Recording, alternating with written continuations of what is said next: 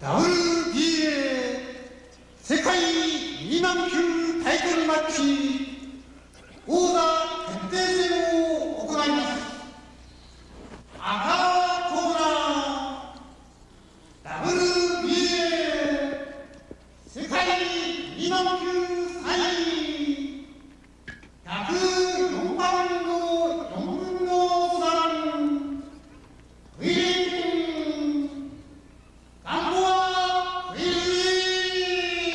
38戦31勝22 KO6 敗1引き分け。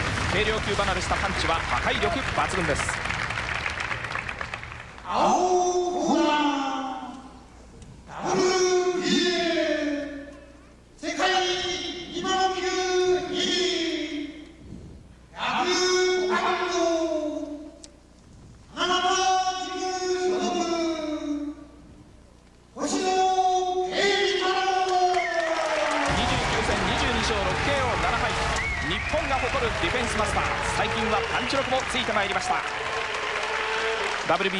ミニマムミニマム級王座決定戦。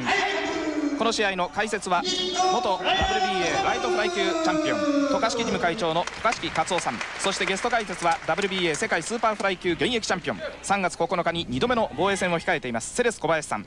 そして特別ゲストに前 WBA ミニマム級チャンピオン新井田豊さんにも青コーナー星野サイドに来ていただいています。お三方どうぞよろしくお願いいたします。はいお願いします。お願いします渡嘉敷さん、はい。両者ともにまあ素晴らしい出来でこの本番臨むわけですよね。かなりあの体が絞り込めてますね、ええ。相当あのれ気合入ってますよ。練習してきてます、はい、前回は僅差の判定で星野が3度目の防衛戦をかけました。願望を破りまして見事初挑戦日本人史上最年長でチャンピオンに輝きました。さあ第1ラウンドが始まりました。黒のトランクスが星野慶太郎。いきなりパンチを見舞ってきましたのがガンボア小泉画面の顔が見えております。白のトランクスがガンボア。黒のトランクスが星野慶太郎です。前回の一昨年の対戦の時と同じ黒のトランクス。そしてその時使ったリングシューズです。まず渡嘉敷さんから伺いましょう、はい。えーこの試合の見どころポイントどのあたりでしょう？そうですね。あのえーガンバーの方があの公開スパーの時ものすごい切れるパンチを打ってたんですよ。はいこれは前回舐めてきてやられてるんで今回は本気でっていうそんな感じでかなり気合入ってますね、はい。それをいかにその星野君があ前勝ってるから大丈夫だよという舐めなければはい。今回も勝てると思うんですよ。あーなるほどね。はい。でもかなりか頑張あのー気合入ってきてることは確かです。はい。セレス小林さん、はい。えーセレス小林さんはこの試合どういうところを注目してみてらっしゃいますか？そうですね、えー、ガンバ選手、前回と違ってやはり初回からガンガン来てますね、はいえー星野さんはやっぱり一発狙わずに手数で回転で攻めたいところですね。はい。あの初防衛の時のチャナ・ポーパオイン戦の時にちょっとこう狙いすぎた感じがね、そうですよね。ありましたけどもね、はい、渡嘉敷さん、はい。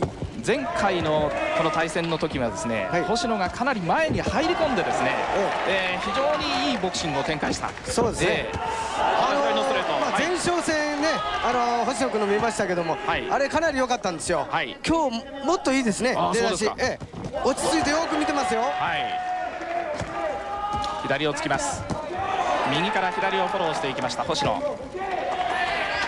あのー一昨年に比べますと星野はあの体つきもちょっと良くなったんじゃないですか富樫さんそうですね、上半身大きくな、胸のあたりも大きくなった感じがしますね、ええ。だからやっぱりウエイトもね、やっぱりある程度必要ですから、はい。はい、えー、渡嘉敷会、えー失礼。花形会長も非常にそのパンチ力パンチのキレが出てきたと。今まさに人生の中のボクシング人生の中のピークを迎えているんではないかという話をしていました、今のストレートなんかものすごいキレがありますね、星野君。前回はどちらかというとガンボアが一発狙いに終始したそんな感じでした今回は今のところはね、本当にねあの星野君よく見て、ええ自分のペースで進めてますね。はい、はい小林さん、はいあの星野選手というのは非常に試合前でも冷静といいますか余裕があるように見受けられるというんですかねえ今日もすごいリング上がってからも余裕の感じがありましたねえ。あのセコンドと話してましたもんねそうですね、ええすごい冷静ですね。はい冷静に相手を伺っています。左をついてきます。ガンボア。ガンボア左。おっと右右のクロス。ちょっとクラッときたか？これは滑った感じです。ガンバーも右をクロス打ってきてますね。ええ。右のストレート。は星野君ガードがね今日かなりいいんでね。い。ここで第1ラウンドのゴングが鳴りました。最後アッパーは空振り。第1ラウンドは10対9渡嘉敷さんは星野につけていますえー改めて放送席をご紹介いたします、えー解説の渡嘉敷克夫さんそしてゲスト解説のセレス小林さんです。渡嘉敷さん、第1ラウンド10対9星野取りましたね。いいですね。あのガードの中からよく見てますね。はい。非常にガード硬いですよね、はい。かなり余裕持ってますね。はい、はい。あのセレス小林さん、はい。えー3月9日に2度目の防衛戦ということで今、はい。ど体調的にはそうですね。今あィション的には？の体をきつく練習してその体がきついですね。はい、はい。あの昨年9月にですね前哨戦の時にもセレス小林さんに来ていただいたんですが、そそうですね。の時にあの星野さんの攻め方を参考にしますとそうですね。いうふうにおっしゃってたんですけども、はい。今日はそのあたりでいかがですか、やはり今日もあれですね。もう日本では屈指のテクニシャンなので、ええ。やはり星野さんから少しでも学びたいですね。はい、はいさあ第2ラウンド思い切ってパンチを見舞ってこようというガンボアですがよーくガードしています。ね時々ね星野君がね足をね、はい。入れ替える時があるんですよ、はい。あの時にガンバの右ストレートもらったら危ないですね。ああなるほど。え放送席久保田さん、はいどうぞ。青コーナー星野サイドですがね、はい。本当に落ち着いてたんですがこの会場入りする前ですねこのリングに上がる前ですね入場の時にですね、最後に一言勝つように私のグローブを握ってくださいと私に言いましてね私も勝利の願いを込めてがっちりとそのグローブを握りました。そうですか、はい思い切ってワンツーを振るってきますがこれはガードの上です。久保田さん、はいどうぞ。一方のガンバーサイドですね、はい。単発に終わらず2発3発続けると、はい。そしてとにかく一貫して油断するな自信過剰になるなということを繰り返してますね。ああなるほどね。前回がまあ自信と油断油断と自信過剰でまあ負けたと本人も話していました。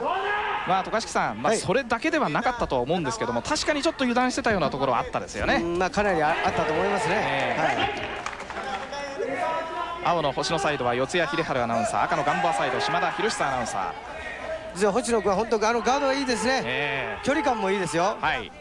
ガガンボアのワンツーよりも星野君のワンツーの方が数段いいですね。あそうですか。はい、はい、大きく右を振るってきました。相手のパンチを出してきてからちょっとああトリプルでジャブをつきました。右のストレートから入ります。あの今右ストレート打った時足が揃うのがちょっと怖いですね、はい軽く当たってもね両足揃ってるとストンと倒れてしまうんですよ。はい。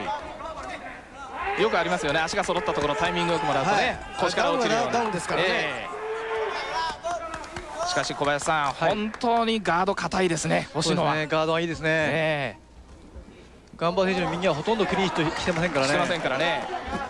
星野もこの試合前に話していましたがとにかく右さえもらえなければ勝ちますとかなり自信を持って話していました左をつきます星野です。背中星野慶太郎。WBA の現在第2位。そして第3位がガンバー小泉。2000年の12月6日このパシフィコ横浜で対戦いたしましてその時は星野が僅差の判定勝ち。大きく左を振りました。バーのアッパーは怖いですからね。はい。そうですねあの渡嘉敷さんやっぱりガンボアの場合はアッパーと右ストレートですかね。あれは強いですよ、ええ。もう KO 率見ても分かるようにほとんどあれで沈めてますね、はい。残り10秒切りました。右のストレート。ガード。をがっちり固めています。星野です。右のストレートクロス。左を伸ばしていく。ね。ここで第2ラウンドゴング。第2ラウンドの採点は高橋さん。10対9こちらも星野が取っています。今回のこの世界ミニマム級王座決定戦のまあ原因となったというと変な言い方なんですが今日特別ゲストに WBA 全ミニマム級チャンピオンの新田豊さんにもお越しいただいています。新田さん、はい、えー、星野選手の第1ラウンド第2ラウンド見て印象いかがですか？あーなんかお互い調子良さそうですけど、ええ。あの距離感で戦ってれば間違いないと思います。はい。あの新田さんはスパーリングで何回となく星野選手とやってるんですよね。はい。星野選手の一番いいところってどこなんですか？やっぱりディフェンスですよね。はい。本当にディフェンス硬いですよね。そうですね。えーまたよろしくお願いいたします、はいえー新田豊選手にはさんには、えー青コーナーに座っていただいています。なんか街角で踊ってる少年のような感じでしたね。若返ったよね。え。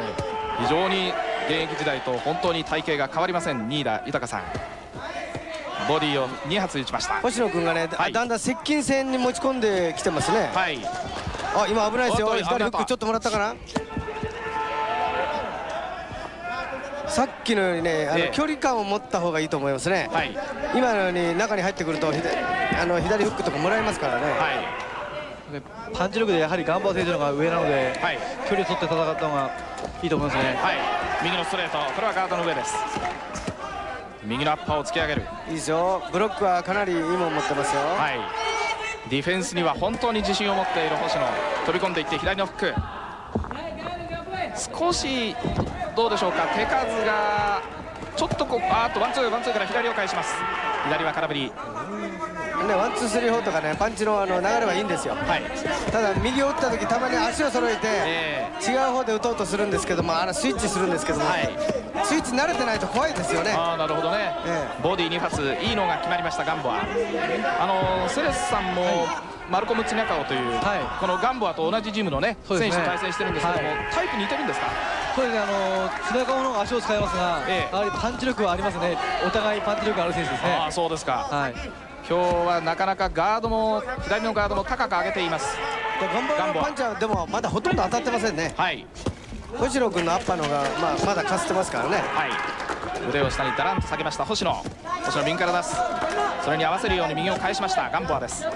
背中が見えています。星野慶太郎。右のクロスカウンターを狙っていったやっぱり先制かけてるのはね星野君なんですよ、ああそうなんですか。見栄えもかなりいいですよね。はい。はリングの中央。足を手を出します。ガンボア打ち返します。星野。低い体勢。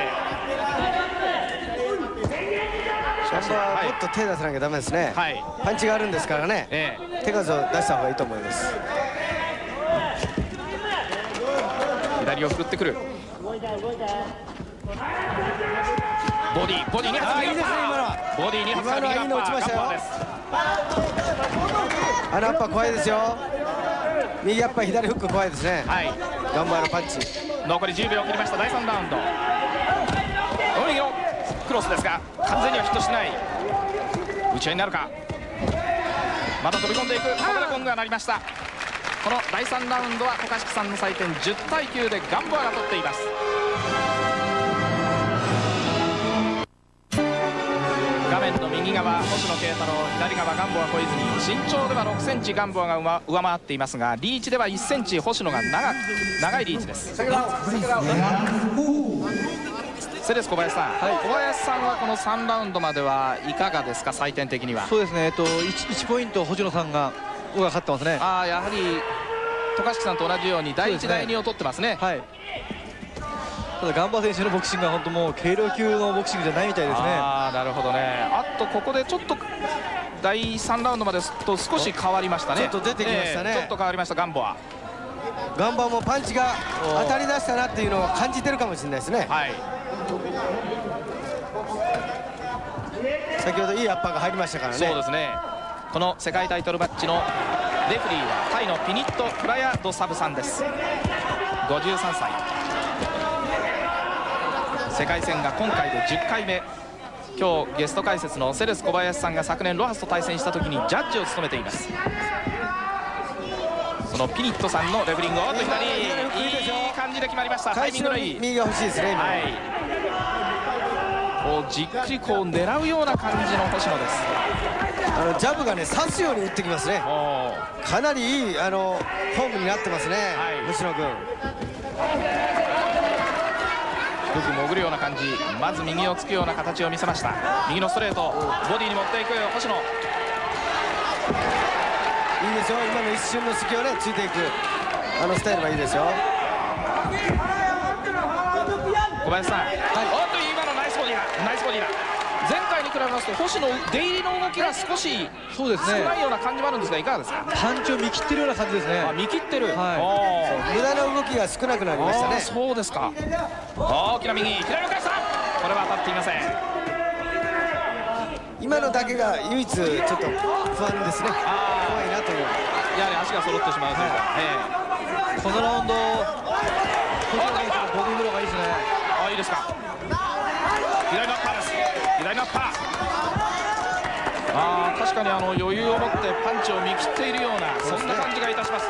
右のストレート。ガンバはちょっとあのもう少し手出さないといけませんね、はい。ボディをボディを狙っていく。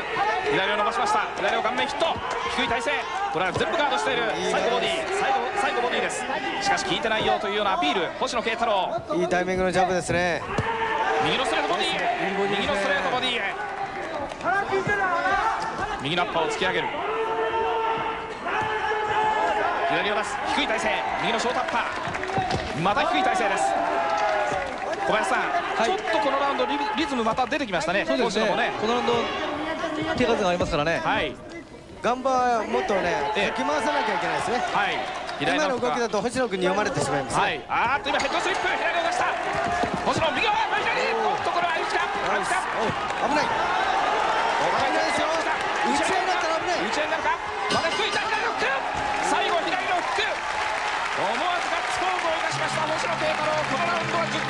星野が富樫さん取っています。のラウンドガールはもう星野戦ではおなじみになりましたミニスカポリス。今回は8代目です。宮前瑠衣さんと服部真由子さん。それから下山智恵さんの3人に今日はラウンドガールを務めてもらっています。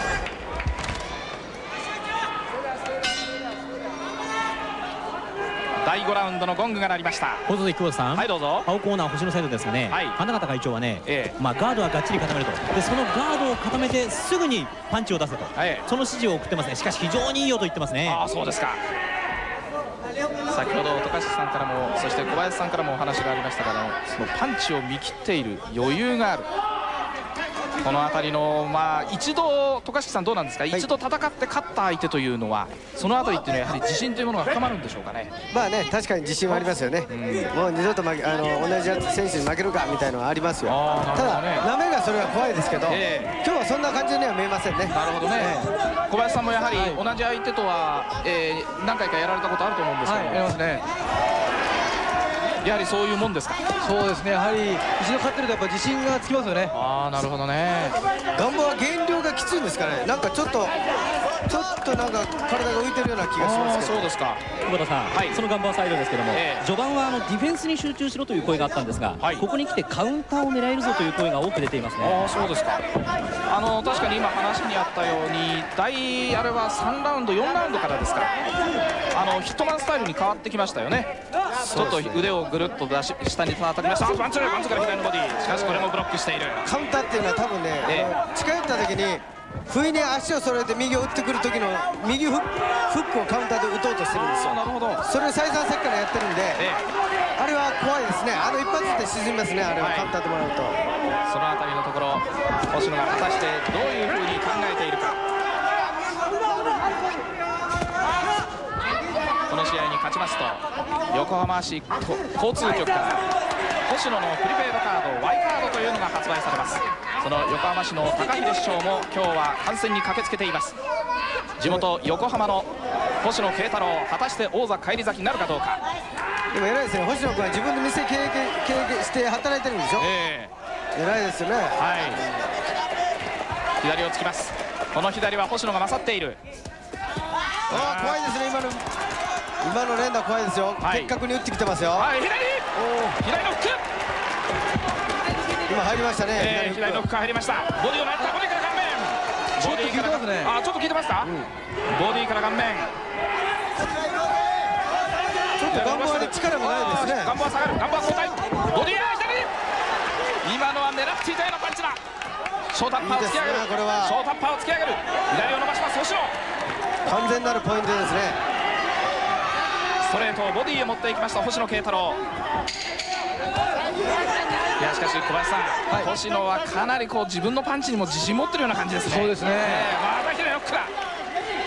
左左が顔面をきっちり捉えたところでゴングが鳴りました。第5ラウンド渡嘉敷さんの採点。このラウンドも星野が奪っています。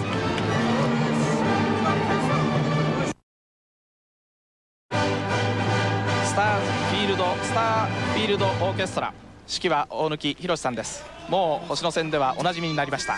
このパシフィコ横浜をタイトルマッチをもう一つ盛り上げてくれます。星野選手を応援するために結成されたプロとアマの混成オーケストラ。今の左のフック。小林さん、はいあのー左の打ち抜くような感じがですねやはりあのかなりこう星野のそのなんていうんですかねパンチのキレの成長というんですかね。そうですね、えかなり今日も切れてますよね、ええ。スピードもありますね。スピードもありますね。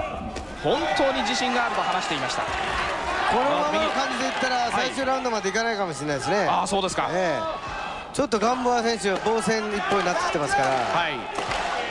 先ほどウェイトコントロールの話があったんですけどもガンボアはもう来日してすぐにリミットを切っているとあいうふうに話していました。そうなんでしょうね。ちょっとなんか浮いた感じに見えるんですけどね、はいただ逆にその落としすぎるっていうのも渡嘉敷さんどうなんですか？まああんまりそそういうことあんまり聞いたことないんですけど、はい、大体みんな苦しいんでね、はい。その日にはもうぴったりに合わせて持ってくるんですけど。はい。今回もリミットを 200g 下回りました。47.4キロでパスしています。ガンボア小泉。なんかガンバー選手は KO で決めよう KO で決めようってちょっと思いこ思って思いすぎのようなそういうボクシングですよね。はいガンバーもねパンチがあるんだからやっぱり手数は出していかないと、い。ダメージ与えられないですよね相手に、はい。が出てくるボディだボディいいでしょだいいボディだ。今のカウンターが良かったですよガンバーは。ショートレンジ。星野のボディを2発。そして右のボディアッパー。左のストレートを出す。渡嘉敷さんどうですか？いいですボディちょっと効いてますかねガンボは？どうでしょうなんかちょっと嫌がってますね、ええ右のストレートボディいいボディ打ってます右のストレねートから左のボディアッパーまたストレートをボディへ持っていきましたあの上下の分けの攻めはいいですね、星野君。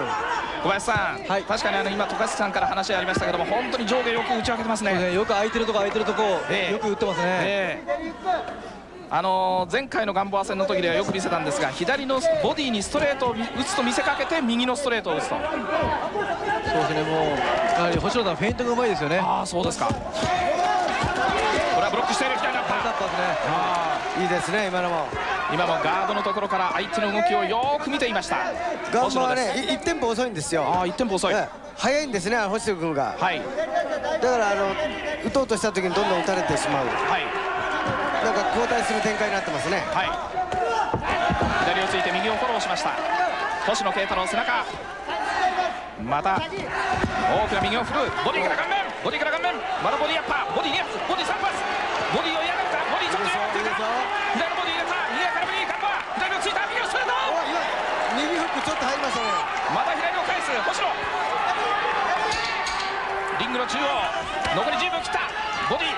あ足が揃うと怖いですよ。えー今足を揃ったところ今打ち合ってますからね。思い切って打ち合いに出ている星野。ここでゴングが鳴りました。第6ラウンドこのラウンドも渡嘉敷さん星野が取っています。456と取っています。セレスさん、セレスさんはここまでいかがですか？この中盤は。そうでも圧倒的に星野さんが有利ですね綺麗ね。これも先に顔面を捉えています、石器戦でも全てやっぱり先手先手でいってますからね。そうですね。ただ怖いのはですねはい。あのーやっぱりセコンドが最初は行くなと。はい。で後半にかけろみたいなことを言ってましたよね。ええ。だからこれからのラウンドが怖いですよね、はい。ガンバはどうどう出てくるかがはい。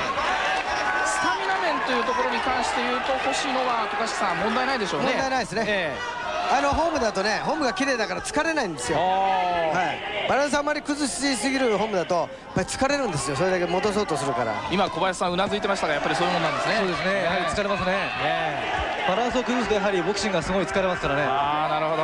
放送久保さん、はいどうぞ。青コーナーですがね、はい。あのーこのままで非常にいいからこのままの調子でいけと、はい。そして先ほど放送席でも出てました。ボディを嫌がってるからどんどんボディをいけという指示も出てますね。なるほどね今の振り下ろしの右ストレートいいですよガンバの大きな左を振ってまいりましたガンボア小泉。身長では6センチガンボアが上回っていますがリーチでは1センチ星野が長い。そういう体型です。ボディから入った。左を突き上げる星野。左を伸ばします。星野君ちょっとねこのラウンドで気をつけた方がいいと思うのは、はい。ちょっとねいけるなというねちょっと安心感出てきてますね。ああそうですか、ええ。だからスピードが鈍いですよ。あー。そこら辺の心理面白いですね。ああ今得意のスリッピングアウェイ。ああやってねあの、ええ。合わされてくるんですよ、はい。スピードが鈍ってくると、はい。もっとちょっと気合を入れて倒しに行くぐらいの気持ちじゃないと、相手のカウンターもらえますよ、はい。左を突きます。星野です。左を打ち返します。ガンボアガンバー選手の右はもう一発でやんと試合の流れを変えますからね、はい右のパー右のパー。いいあの練習していましたからねあのアッパーは、えー今のは怖いですね。怖いですね。入ってくるところカウンター気味の右のアッパーです。ワンツーからボディ左のボディですがガードしています星野。残りも間もなく1分を切ろうというところ第7ラウンド。左のジャブです。一つフェイントが入るような感じから左のジャブが顔面を捉えました。また左です。いいですよ。あれえー。ジャブ打つだけじゃないし次の展開も考えた方がいいですよ。はい。左のアッパジャブだけだと次ねよ読まれてしまいますんでね。ーはい。リングの中央足が止まった。両者です。左ノック右ショートアッパーです。ガンボア。いいですよジャブ。先に手を出している星野。星野右星野の右のクロス左を打ち返したまた右のストレート。ガンバは手出さないですね。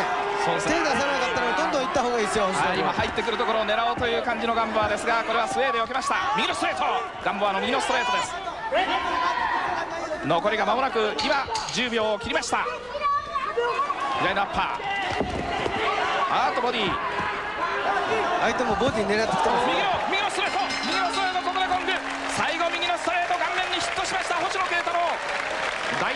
ンドも10対9星野慶太郎が取っています。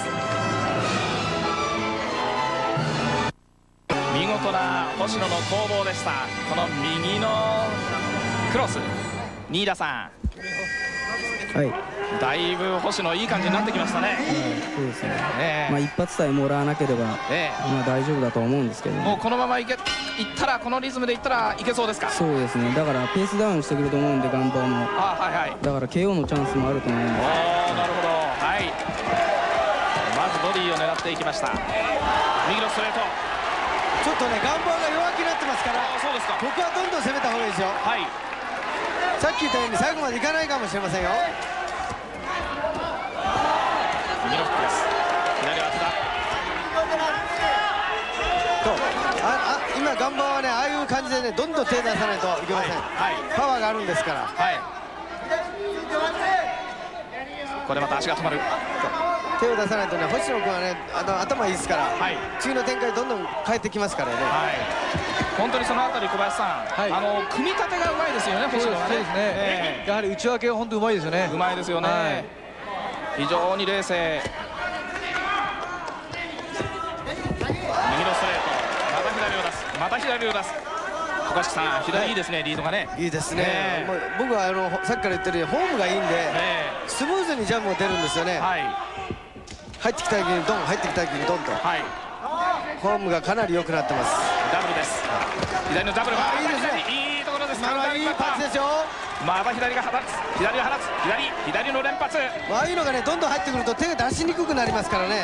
今度はボディへ持っていきました左。やはりジャブでもカウンターだとかなりねダメージがありますからね。ああそうですかまたここも入ってくるところ左がヒットしました。星野です。この右は届きません。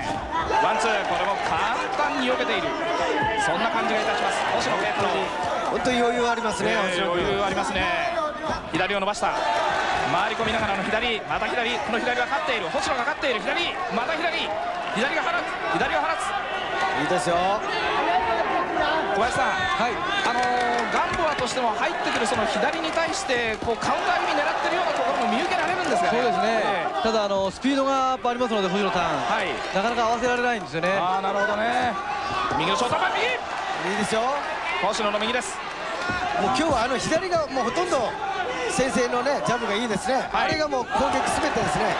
左左が右あ右右右ロック右ロックだこれも右ロック左が来た左が来た右のストレートを打ち返す右ガードだけガードだけしておかないと怖いですねのストレー。ト右ロックちょっと効いてるか効いてるか効いてるか星野がラッシュ星野ラッシュ右のストレー。ト星野右のストレー。ト左が当たった左ヒット左ヒット下からのアッパー。欲しいですねちょっと効いている左が当たった左が当たった左がヒットしています星野完全に星野のペー。ス完全に星野のペー。ス聞いてますよ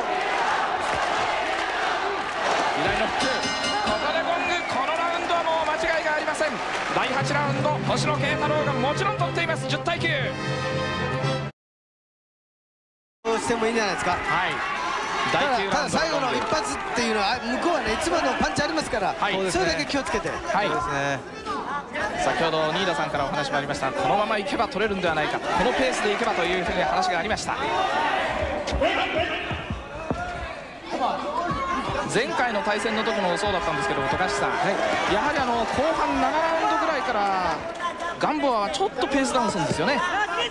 あの少しえあの前回の時も7ラウンドぐらいから少しこうやはりペースダウンしてスタミナに問題があると言われてたんですが、え。じゃああれですね。ガンバはあ星野が上手くなったなっていう強くなったなっていう手応えは感じてるんじゃないですかね。そうでしょうね。え久保田さん、はい。確かにガンボアサイドですね。星野は確かにいいということを言ってますね。あーそうですか。でですねガンボア自身に対しては打たれたらすぐに返すというのができていないから今日は悪い流れにはまっているんだということを言ってますね。なるほどね。星野自身が話していました。前回戦ってみてガンボアはおそらく星野はパワーがないと思っているはずだと。そしてそう思った瞬間にガンボアの負けなんです。僕は勝ちますというふうに話していました。星野慶太郎本当に久保田さん、はい。その星のサイドですが、ええ。花形会長はとにかくあのいくらいくら今いいと言ってもええ。右だけは警戒しろと。あー右だけはね。ええ。しかしチャンスがあればもう倒しにいけるぐらいの流れにはなってるというふうに言ってますね。なるほどね。花形会長も話していましたけどガンボアは調子に乗せると怖いと富樫さん言ってたんですけどね。ね、ええ。あの右だけはやっぱりありますからね、はい。ストレート。はいさっきもちらっとねかすってましたけども、ええ。怖いですね、はい。踏み込んであれ打たれたら倒れますよ。この右です。しかし落ち着いてまた左をついていきます。星野。顔が見えています。星野。7, 割32 7歳。割から8割近い KO 率でしょそうですね。はい。31勝のうち22の KO 勝ち。非常に高い、まあ、このクラスでは非常に高い KO 率を誇っています。ガンボア小泉しかしその強打を小林さん、はい。ここまではまあよく封じてますよね。ガンバー選手ちょっとワンパターンですよね。ジャブワンツーで。ジャブワンツー。で時折離れたアッパーですからね、ええ。それだけなのでそれだとなかなかあのガードは崩せませんよね。なるほどね。ガードの中からまたしっかり見てますね、ねえ見てますね、えまた左をつきます星野です。フェイントを一つ入れて少し息を抜くような感じ。そしてまた左をついていきます星野です。え星野君は何を考えてるか今ちょっとわからないですけど、えもう少し的確に当てるんだったらボディをね、集中して攻撃攻撃して、はい。フェイントかけて上を狙うとかね。ええ。あのーセレス小林君がよくやるんですよ。下打っときながら下を見て顔面を打つっていう。あーああいう攻撃に展開してもいいですねセレス小林さんもそういったその得意のそのフェイントというのを持ってるわけですよね、はい。ええ。さあここで第9ラウンドのゴングが鳴りました。このラウンドも渡嘉敷さん星野につけています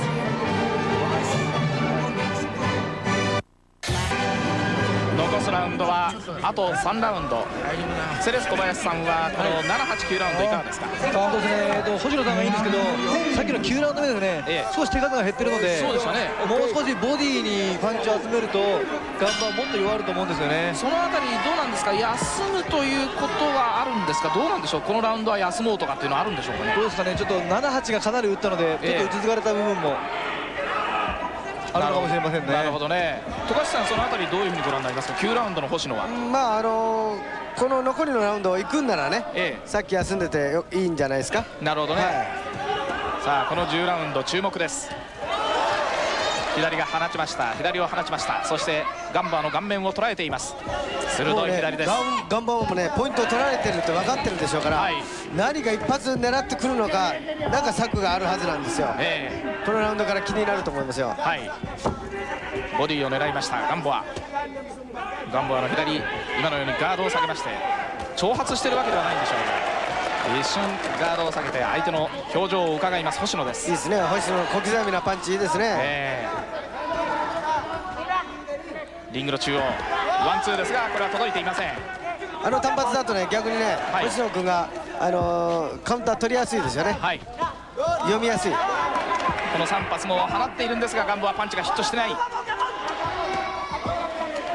非常に素晴らしいディフェンスを見せています。そして素晴らしいパンチ。特に左のリードブロー。藤野君はチャンピオンだった時よりも強くなってますね、えー、そんな感じですよね。余裕のいいボクシングしてますよ。ちょうどハーフタイム。1分30秒を経過しようという第10ラウンド右のストレートを持っていきました。星野です。星野選手は相変わらずパンチがシャープですよね。そうですね。ワンツーワンツーから左のアッパー。また左を出すガンボア。ワンツーボディ右フックあたり入れたいですね。右を振るってまいりました。低い体勢得意のスリッピングアウェーでパンチを殺しています星野です。もうねガンボアはね星野君のスピードに追いつけないですね。余計切れてないですもん。右を出す。ガンボ。は左から右から入りました星野です。お互い見るような感じ。左のフックですがこれもガード。全部ガードしてますね。全部ガードしてます。入ってねあれだけ打ってね、ええ、当たらなければねガードされてるんだったら疲れるだけなんですよガンバは。そうなんですか。ガンバもすでにも疲れてるのにあれだけ手出すとまた疲れてきますよ。はいボディですボディです。ボディです。ボディをちょっと嫌がっているガンバは。ボディ嫌がっている、ね、完全に嫌がってますね。左をついた。アンパーから左のボディ。ガンボは左のストレート。左のストレート。またボディを狙っていこうというところ。思い切って振り下ろしましたガンボアです。ここでレフリーのタイのピニット・プラヤドサブさんが割って入りました。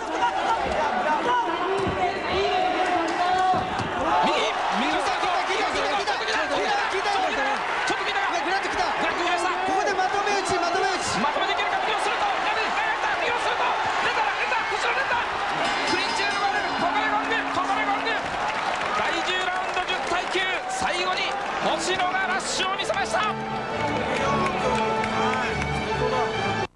ゲストの新田さん、はい。えー、新田さんおっしゃってたようにですねこれは本当にちょっとタイトル出したはもちろんですけども、KO い。きそうな感じですよね。そうですね。えあとだからガンバーの右アッパーだけが怖いですよねーまあ、右アッパーが怖い、あー。あしかし、とはもうええ。大丈夫だと思うんですけど。しかし新田さん、はい。星野選手というのは冷静ですしね。そうですね。あの非常にクレバーなボクシングやりますよね。はい素晴らしいここまでの戦いぶりです。第11ラウンド残すところもあと2つ。もう2ラウンドですからね、ええ。星野君行って爽やかにあの KO するのもいいんじゃないですか。そうですね、はい。渡嘉敷さんまあこのままいけばタイトル王座奪還濃厚ですよね。はああもう余裕があります。余裕があります。ここは一旦止めましてあのテープが剥がれてしまいました小林さん、まあこうなってきますと先ほどまあニーダーさんも話していたようにアッパーあるいはその一発ですよね。怖いわけですけども、ね。もう星野の方はやはりあのええ。右のアッパーと右のクロスが怖いのであれだけ気をつけながらえやはり攻めていけばまず問題ないと思うんですけどね。あの見てましても第1ラウンドの時とですね、はい。なんか様子変わらないんですよね、星野選手はね。本当冷静ですよね。え富樫さん、9月に前哨戦をやった時ですね、やはりあの後で聞きましたら星野選手は我々の話してるの全部聞こえてたそうですよ。いはいはいはい。えまあ余裕があったんですね。え余裕があったんですね。すごいですね。今日今日の方がもっと余裕ありますね。ねえ。右のストレートです。右を振り下ろしました。まあ、右右右振った倒しに行ってますよこれは。右です。これも右。いいの入りましたね今ね狙って右狙って右左をついた。左をついていく。ガンボアーっとガンボアの右のクロス。頑張ってますね、えー頑張っています。ボディへ持ってきましたワンツー。久保田さん、はい。ガンバーサイドはですねもうええ KO だけ考えろということになってますね。ああそうですか。あの右の振り下ろしは倒しにいってるパンチですよね、ねえああ狙ってきたらすごいですね。入ってくるところをクロスで狙っていこうという。あーボディ。ボディから左。しかし星野の方は右から左をフォローしました。右のクロスよこれはどんどん行った方がいいですよ。星野の左です。前回のその2000年の12月6日の時の試合に比べましても今日の方が明らかにここまで上回っている。そんな印象の星野、疲れてませんもんね、ね、疲れてないですもんね32歳になりますが肉体的には今がピークだと本人が話していました。これまでの試合で一番いいんじゃないですかね。本当にそうですね。そうですね。一番いいね。小林さんしかし32歳で肉体のピークってのもすごいですよね、本当僕も見習いたいですね。ねえ。左をついていきます。星野です。星野君の眼力というか集中力というかはい。かなりねあの発達したというか伸びてますね。あれも顔でね、ええ。昔の川島君みたいに顔で避けてるんですよ。スリッピングアウェイですよね、ええ。おーものすごいパンチを見舞いました。足が揃ったところですがガードしています。右のストレートを持っていく。右のストレート。またし接近戦。接近戦、右を出す右を出す右左。いいですよいいですよいい試合になってますよ。右のクロス。さあ盛り上げてくれてますよ左を振っ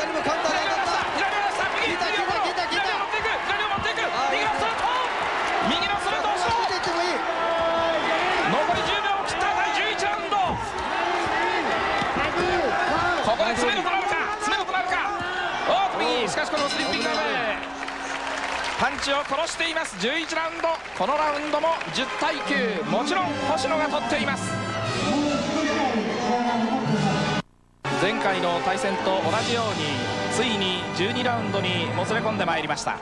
しかし渡嘉敷さん。はい。渡嘉敷さんはここまででもう圧倒的ですね。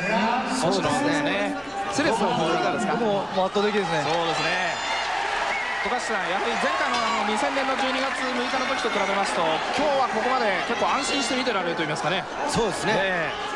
もうあのなんか完全にその読み切ってええ。飲んでしまってるっていう感じもしますね。え本当飲んでしまってるって言葉が正しいね。感じがいたしますよね。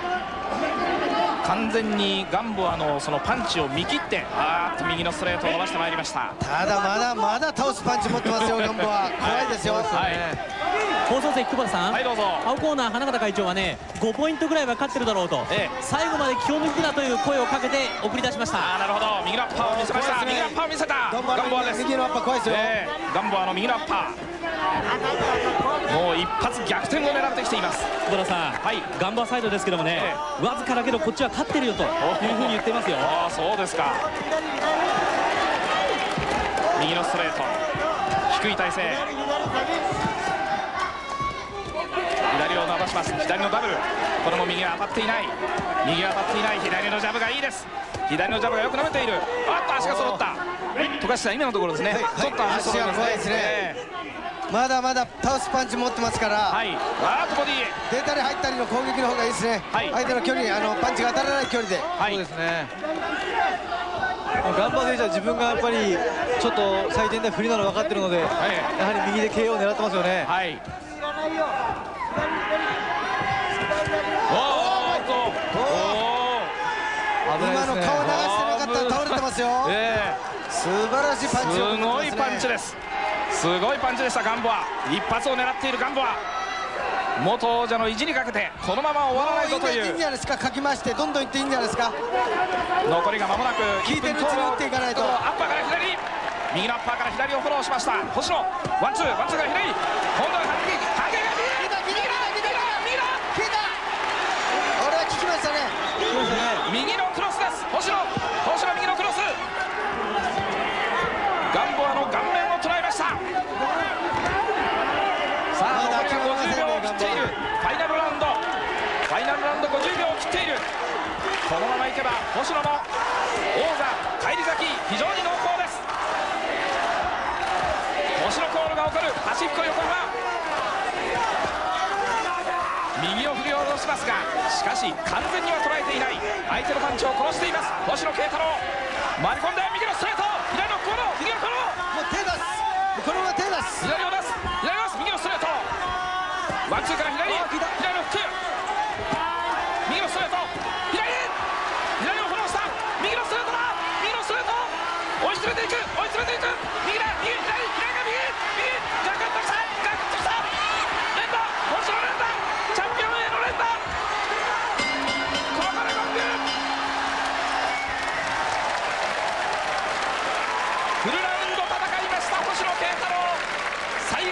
後の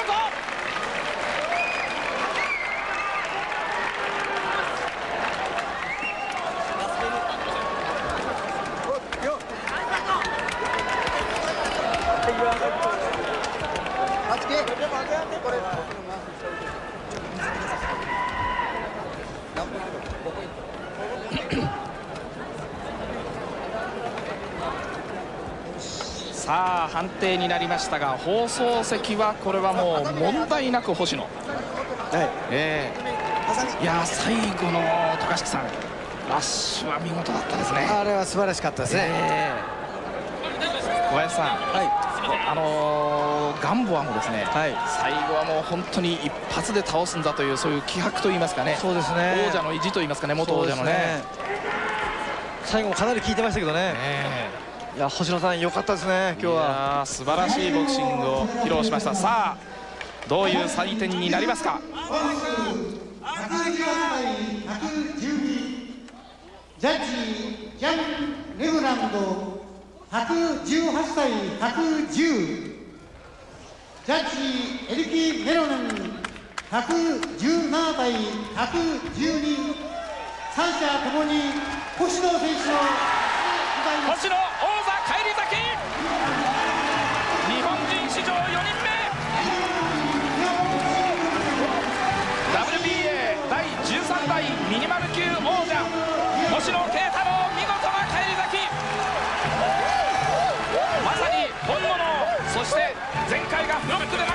を証明いたしました。